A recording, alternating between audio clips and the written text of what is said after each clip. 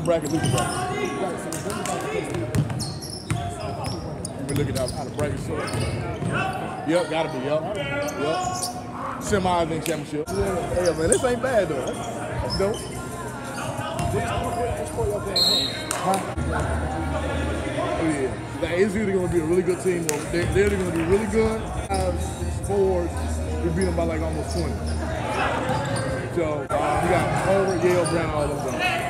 And then after that, he got all like local. Another kid got Rhode Island, Oklahoma State,